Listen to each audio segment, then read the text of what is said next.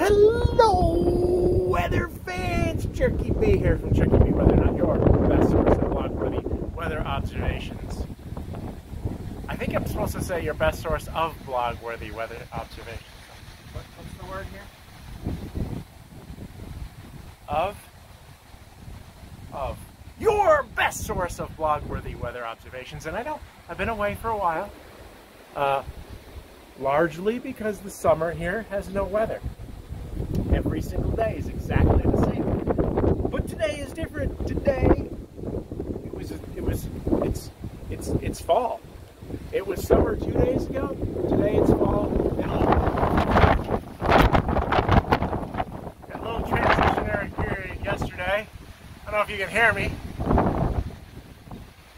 But, but we're getting some rain. And we're getting some wind. And trying out my new uh-oh. Uh-oh. Trying out my new my new uh, face tracking gimbal that I got for my birthday in July that I haven't used yet. It's got too many buttons. It's confusing for me. But I'm not the one even using it. Here we are. It's very exciting. We've been uh, we got a new roof yesterday. That big hailstorm that I, I put up somewhere around June 25th, 25th, 26th, 28th. June 250. June 2500. 1245. 1245. Camera tells me it's. No, I'm serious. I don't know what you're doing. You're just. She went like this. I said June 20 something, and she goes, I don't know what date that is. 1245. Uh, it's the 45th of December. The 45th of December. Sometime in June. We had a big hailstorm that I actually captured, and we had lots of lightning that night and everything. And turns out about $80,000 in damage. During the video, I said, "Ooh, that's when the hail got big." I said, well, "That's the kind of hail that causes some damage." Eighty thousand dollars in damage. But we've got the new roof on as of yesterday, an impact-resistant roof, so the hail won't damage it anymore. This is going to sound probably all just wind, right?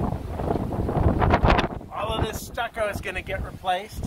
All of this is going to get re-dashed. I think they call it. You spray over it. New coating because the hail put little dents all around in the house.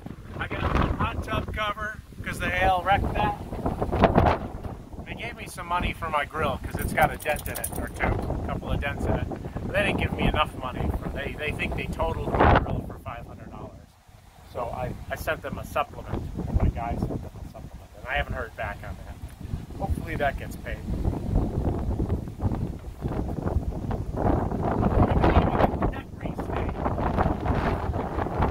Because the hail put many dings in the dent and knocked the finish off, even though, you know, the dent's a little bit worn. Uh, doesn't matter. We'll see. We'll see about the deck. I'm not I'm not optimistic that the deck is gonna is gonna get refinished. I'm gonna have to do that myself probably. Yeah. I'm not really sure what the deal is with the weather. I don't read the forecast. I don't trust the forecasters. Um, but I'm observing there's a lot of wind and a little bit of rain. Um, you know, will it be a, a tornado? It's not out of the realm of possibility, uh, but it's it's probably not likely. Tornado warning hasn't gone off. The the uh, thunderstorm warning hasn't happened. Nothing. No warnings. We've got no warnings. So I'm thinking it's just going to be windy like this. Well, anyway, uh, I'm going to try to do these more often in the future. We'll see how the house progresses. You know, as they start tearing it off, maybe we'll get some weather blogs about doing doing stucco, E-I-F-S, essentially, exterior insulated finishing system. It's not really stucco, but they call it stucco. But actually, my last two houses really were stucco. That's a very different material. So anyway, uh, CherkyB here, Tricky B, Weather or not your best source of blog-worthy weather observations.